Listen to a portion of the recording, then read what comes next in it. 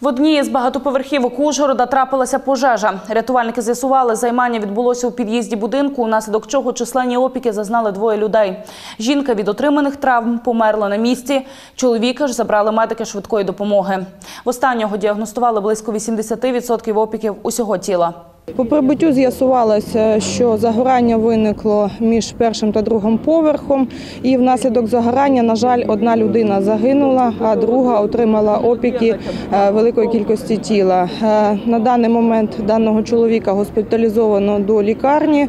Е, Лікарі діагностували в нього опіки е, 80% тіла другого-третього ступеню. Пожежу рятувальникам вдалося локалізувати за лічні хвилини, тож потреби в евакуації решти мешканців будинку не було. Що ж до причин загоряння та матеріальних збитків, то їх наразі встановлюють.